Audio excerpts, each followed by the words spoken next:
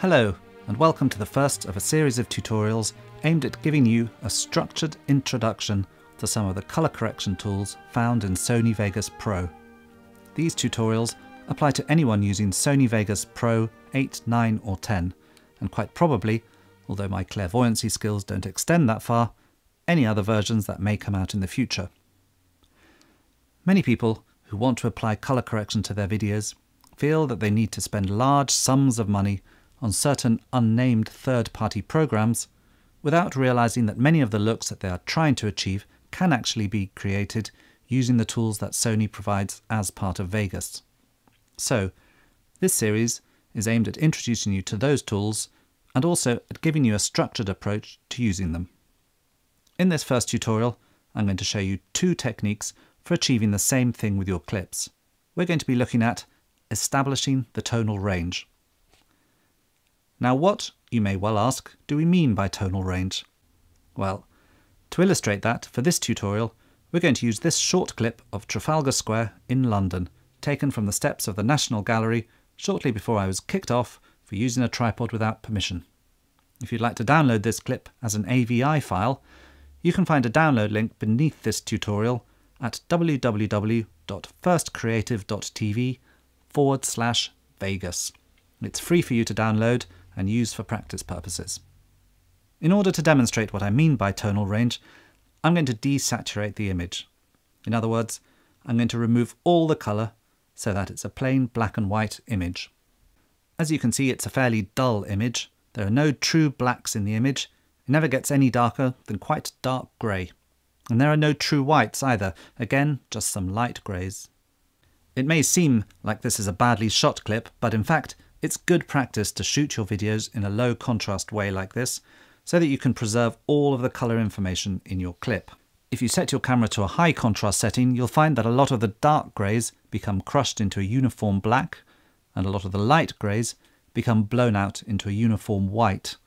If you shoot in a low contrast mode, all the colour variation is preserved, and you can change the contrast in post-production.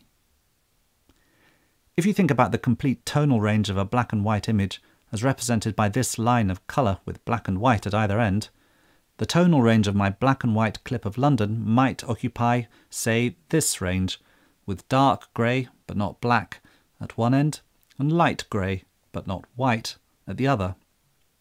What I want to do in this tutorial is show you how you can extend the tonal range of the image to go from true black to true white without crushing any of the dark greys or blowing out any of the light greys. In other words, I want my clip to go from this to this. In this clip you can see that the van in the first clip is a light grey, but is a nice bright white in the second, and these posts are dark grey in the first image, but a nice rich black with all their textural details preserved in the second. The principle is the same in colour, except that instead of a single range of shade from black to white, we're working with three separate colour ranges, red, green and blue.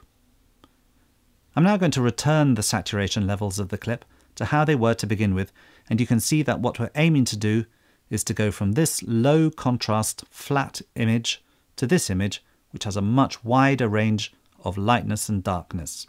Again, nice bright whites and deep rich blacks, both of which preserve all their detail.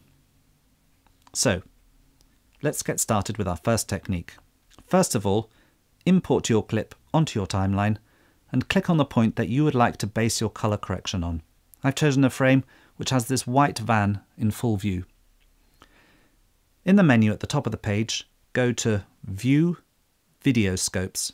If it isn't already selected, select RGB Parade from the menu at the top of the window and you should see something that looks not unlike this. Now, the first time you see this, you might be forgiven for thinking that you had accidentally gained access to the cardiac monitoring unit of your local hospital. But in fact, the RGB parade, which is what this is called, is a fairly simple tool to understand and one that is incredibly valuable for setting the tonal range of your images. I use it on pretty much every shot I edit because it allows you to see very subtle gradations in colour that you can't see on your preview window with the naked eye. Let's have a quick look at how it works. The RGB parade is basically a representation of what you see on your screen, divided into red, green, and blue pixels. Each column does the same job for each colour. So let's look at the first one, red. The axis along the bottom of the column represents your image from left to right. The vertical axis shows you how all the pixels are distributed at any horizontal point on the screen, with the darkest at the bottom and the brightest at the top. So for example, here we see that there are lots of bright pixels about a third of the way across the screen. If we look at the image in the preview screen, we can see that this is where the white van appears, and so many of these light pixels will correspond to this. Similarly, there are lots of dark pixels in this part of the red column, and if we look at the corresponding area of the screen, we can see a large amount of darker colours. For our purposes, the most important thing to know is where the top of the RGB parade lies and where the bottom of the RGB parade lies. Looking at ours, you can see that there are almost no pixels in the top section and almost no pixels in the bottom section. This is because we currently have a very low contrast image with no true whites and no true blacks. What we want to do is to stretch the RGB parade so that it fills the entire range. To do that, we're going to select Levels from the Video Effects menu and drag an instance of that onto our clip. Now, with the Levels window and the RGB Parade window open next to each other, select Input Start in the Levels window and bring the slider up until the lowest pixel in the RGB Parade reaches zero. Now do the same with the Input End slider and bring the highest pixels in the RGB Parade up so that they touch the 255 level. Without even looking at your preview window, you know that your image is occupying the full available tonal range and that you are not crushing any lows or blowing out any highs. Now look at the preview window. You can see that the image has instantly become richer. You can toggle back and forth between your corrected view and your source file by clicking this button here.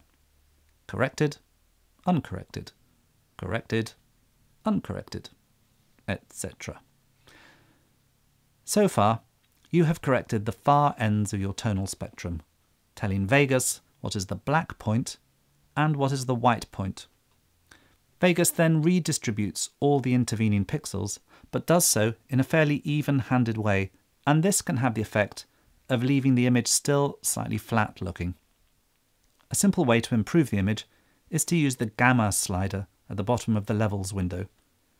Sony Vegas uses the word gamma slightly inconsistently, but in this context, it has the meaning applied to it by professional colorists of midtones.